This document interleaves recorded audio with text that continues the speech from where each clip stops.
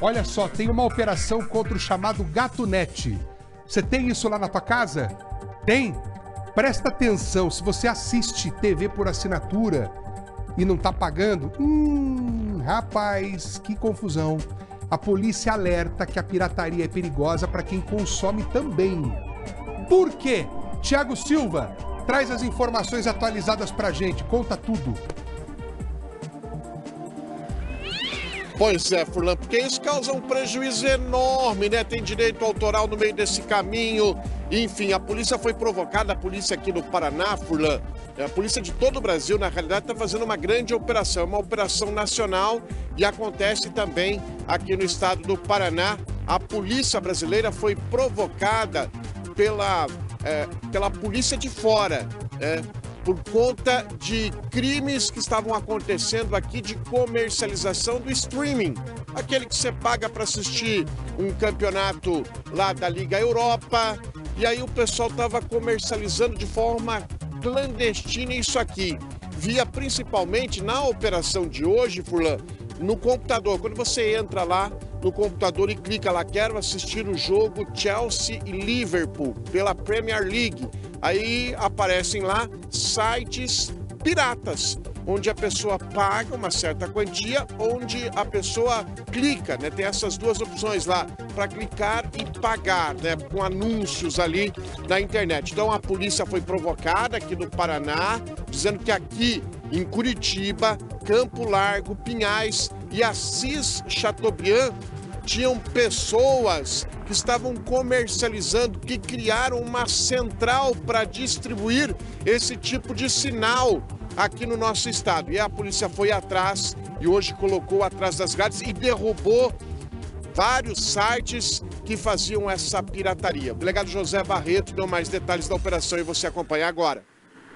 Nos quatro alvos foram encontrados realmente indícios de que aqueles indivíduos estavam praticando esses crimes né, de pirataria digital, né? É, e é lógico, e dois indivíduos então ainda foram flagrados naquele momento que as equipes policiais estavam lá, eles estavam é, distribuindo esse sinal ilegal, razão pela qual é, desses quatro locais, é, em dois locais houve prisão em flagrante delito. A princípio, elas atuavam de forma isolada, cada qual no seu serviço independente. Quem está respondendo por crime são as pessoas que distribuem esse tipo de serviço. Né? Eles, de fato, eles estão violando o direito do autor, mas lógico que a gente sabe né, que a pessoa que contrata um tipo de serviço, ela está colaborando com toda uma indústria de crimes.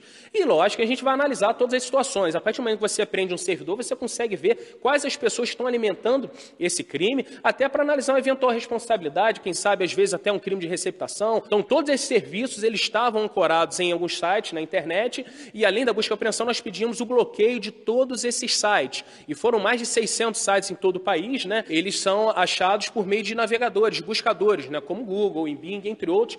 A gente é, conseguiu autorização judicial para que o próprio Google e Bing é, retirassem é, esses sites como resultado de pesquisa. Então, se alguém tentar digitar esse site hoje para tentar ver um jogo, a pessoa já não vai achar. Aqui na, na capital, no Ciber é, deflagrou dois mandados de busca e apreensão em dois locais referentes ao mesmo alvo, é, que fazia a divulgação ilegal, violava direitos autorais da Premier League, da Liga Inglesa de Futebol. Essas informações chegaram a nós através de representantes da Premier League, que nos trouxeram que havia essa violação massiva de, de direito autoral e a transmissão ilegal de jogos da Premier League de, dos times da, da Liga Inglesa de Futebol. Eles informaram de forma muito sumária que, de fato, faziam essa transmissão do, do, dos jogos mediante paga de publicidade e de usuários de forma pontual, pagando por jogos que eram transmitidos via navegador, via internet. Né? É isso. Esse então é o delegado Tiago Lima, também do Nuciber, né? o delegado José Barreto, que é o chefe,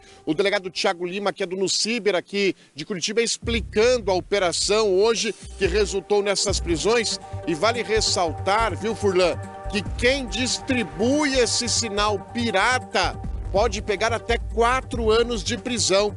E quem recebe, quem compra esse sinal pirata, paga lá. Geralmente, segundo o delegado, eles cobram numa média de 35 reais por mês para ter esse sinal em casa, para ter tudo liberado.